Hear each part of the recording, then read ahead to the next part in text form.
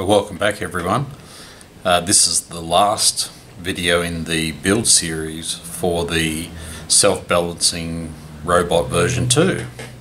So today we're going to take a look at the calibration and the setup of the parameters that are needed in the code for the balance robot and also setting up the stepper motor drivers as well. So let's get into it now.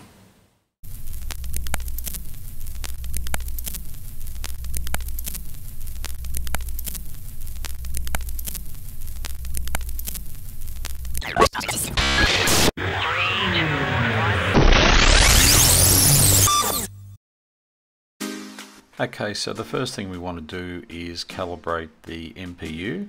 So open the calibration sketch, check you're on the right serial port and Arduino Uno is the baud that you want to select.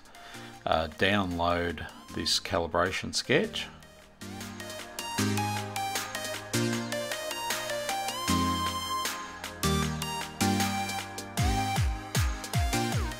And when it's complete you'll see that it's done downloading down the bottom. So now we want to open the serial monitor and on my version just open it on 9600 board and it's asking just to hit any key. So hit a key and enter or click the send button and you'll see that the sketch starts the calibration process. Now this can take a little while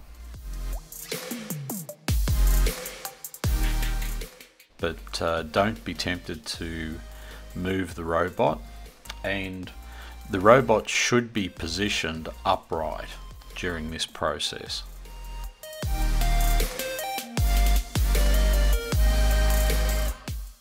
When it's complete it'll print out the offsets that it calibrated and the offsets that you should enter into the code. So the next thing we want to do is just open the robot sketch and scroll down until you find the calibration constants.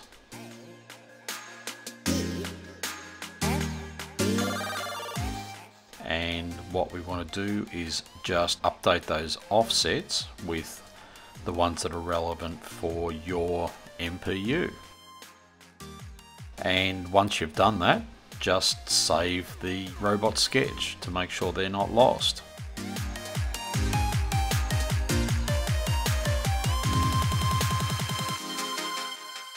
And that's all there is to calibrating the MPU.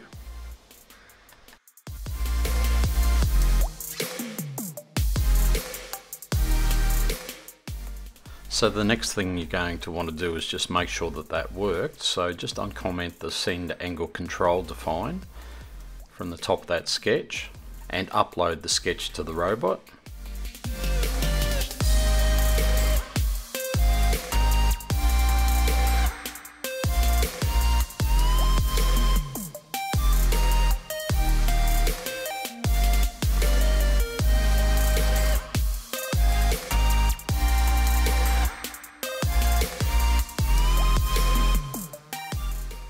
And once that's finished you'll see that it says done uploading. Just open up the serial monitor and uh, just set for 9600 baud. And you'll see that it resets the robot again and runs through the setup.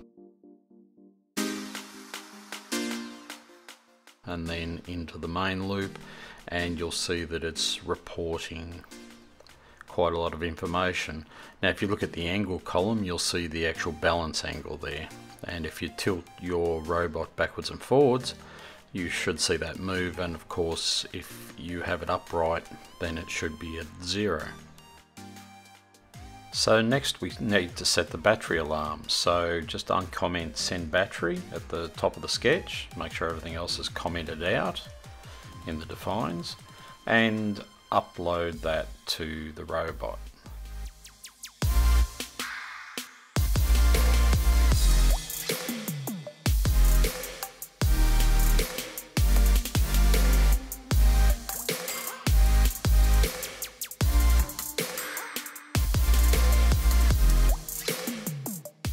Once that's finished uploading, just scroll down to the battery functions down near the bottom of the sketch and open the serial monitor so that you can see the raw and the mapped values coming through.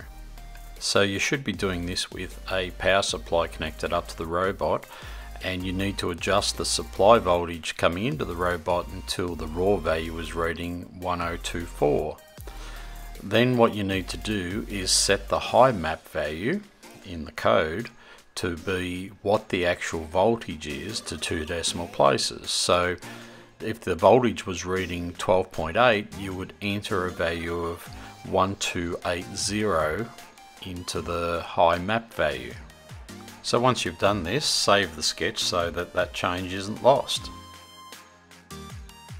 So all that's left really is to calibrate the current to the stepper drives. So to do that we open the stepper control test sketch and upload that to the robot. Once we've got that uploaded, open up the serial monitor and what this allows you to do is actually send a control signal to the stepper drivers. If you hit the Q key it'll increase the drive by 5 in one direction and if you hit the A key it'll decrease the drive by 5 and it'll allow you to go positive and negative. and if you hit S that will actually stop it and take it back to 0. So what you want to do is increase the drive signal a little bit and adjust the potentiometer on the stepper drive carrier until the motor is running nice and smoothly. And obviously you'll need to do this on both stepper drivers.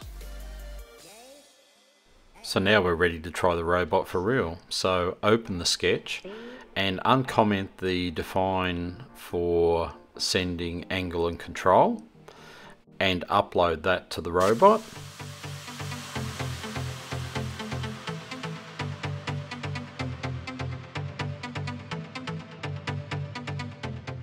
Once it's finished uploading then open the serial monitor and you can see that it's gone through the setup function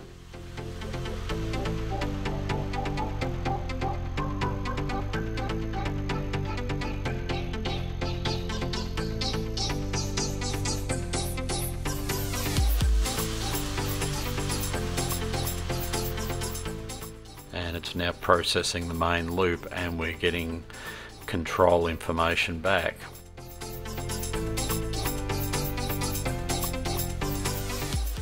The angle seems to be adjusting okay, the outputs seem to be the right action and if we give the robot a try it seems to be balancing okay now.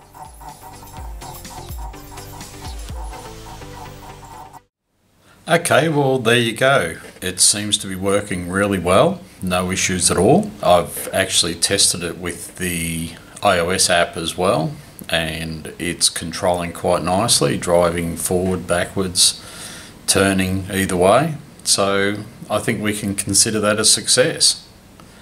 Okay, cheers for now. If you like what I'm doing then please do like the video.